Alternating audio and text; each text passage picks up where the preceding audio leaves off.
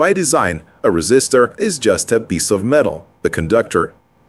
As opposed to regular wires, however, a resistor resists the flow of current, partly turning it into heat. So the most important property of this component is its resistance. The less metal a resistor contains, the higher the resistance.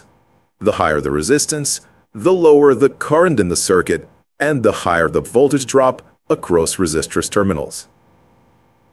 Resistance is measured in ohms.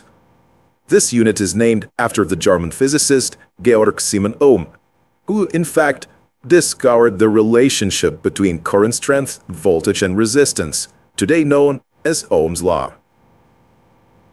The resistance is indicated on the body of the resistor by color code, which allows anyone to read the value no matter the orientation of the part on the board.